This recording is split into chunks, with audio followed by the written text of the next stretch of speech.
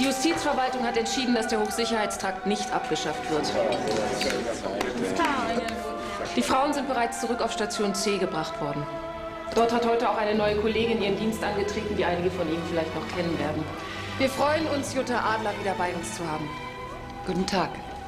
Tag auch.